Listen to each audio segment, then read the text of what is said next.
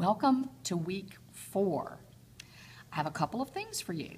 First, we've graded your week two forum, and you should be able to assess those, look at those grades, and get your feedback.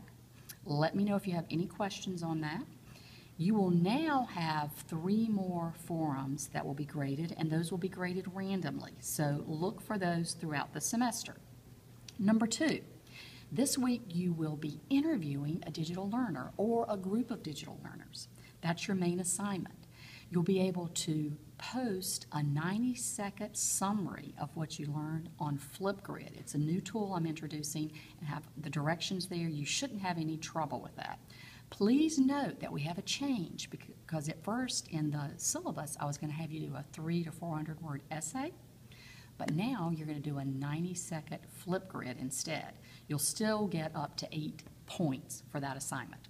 You're also going to have several articles to read. I think you'll find them interesting about uh, digital learners and some of the controversies about at what age should we start introducing technology. The Mary Ann Wolf article, especially. I think, uh, especially some of the K2 teachers will find that interesting.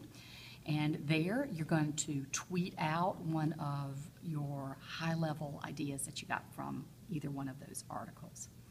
If you have any questions, remember to, I'm always available. You can always email me or ask a question on uh, uh, the Twitter forum, either one.